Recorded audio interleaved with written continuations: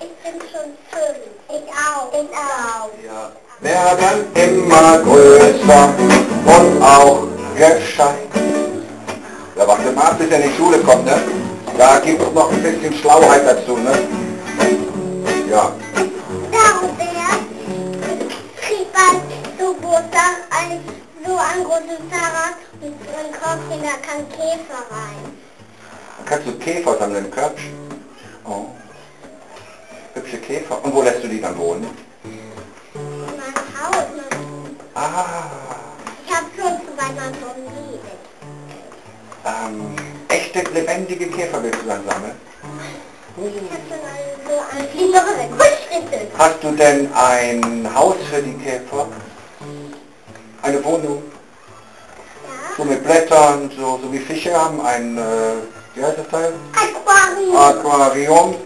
Und andere Insekten macht man auch in sowas. Mein Käfer wird in mein Zimmer und dann wird mein Bett. Hm. Aber so frisch gewaschene Bettwäsche mag der Käfer gar nicht. Ich glaube, der mag lieber so auf Blättern schlafen, oder? Das. Bei dir klappt das schon, ne? Okay, wenn es ihm nicht gefällt, kann er ja wieder wegfliegen. Ja, schon. Der bleibt immer im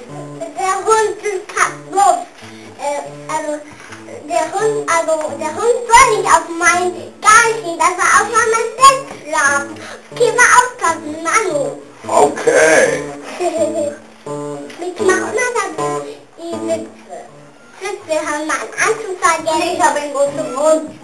Wir werden immer größer, darin sind wir stur. Wir werden immer größer in einer Tour. Auch wenn man uns einsperrt und sogar verdrückt. Wir werden immer größer, da hilft alles.